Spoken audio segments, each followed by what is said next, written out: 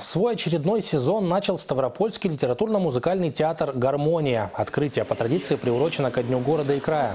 На сцене премьера классика русской литературы «Черный монах» Антона Чехова.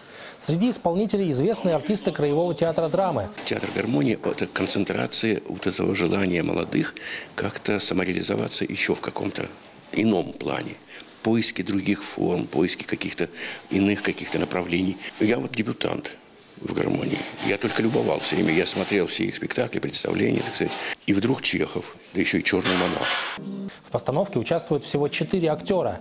Декораций минимум. Главное в произведении, считает режиссер спектакля и по совместительству исполнитель одной из главных ролей, совсем не внешние эффекты. В произведении есть тема сада коммерческого, есть сад причуд, изысканных уродств, да. И сад внутренний, человеческий. Поэтому мы стали, не стали заслонять декорациями, деревьями, а наоборот показать внутренний сад человека.